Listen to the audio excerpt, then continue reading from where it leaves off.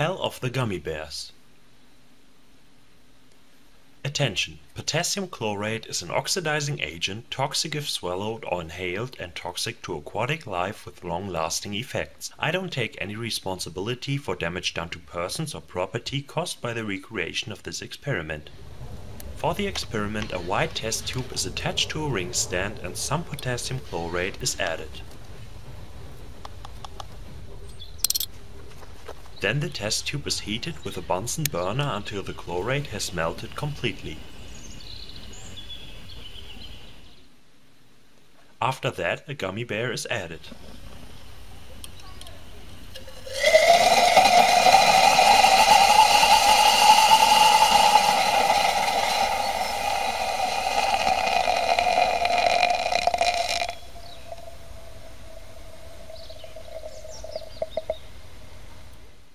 When potassium chlorate is molten it reacts with itself to form potassium chloride and potassium perchlorate. This is a disproportionation reaction because an element changes its oxidation state from one in the middle to a higher and a lower one, so it is oxidized and reduced to form two different compounds. The formed potassium perchlorate decomposes at a temperature of 400 degrees C to form potassium chloride and oxygen, which then oxidizes the sugar and the other ingredients of the gummy bear. The energy that is liberated by the reaction increases the reaction speed. If the diameter of the test tube is too small the experiment often doesn't work as well. The gummy bear can be thrown out of the tube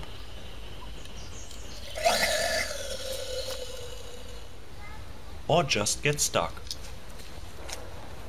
In this case it should not be tried to force the gummy bear down with a Bunsen burner because the second heating causes extreme differences of temperature in the glass. Even borosilicate glass which is used here doesn't stand the resulting stress. Unfortunately this happened after the camera had been turned off. Little cracks form in the glass of the tube due to the high heat so it shouldn't be used again after the demonstration. This was the hell of the gummy bears. I hope you enjoyed, please rate and comment.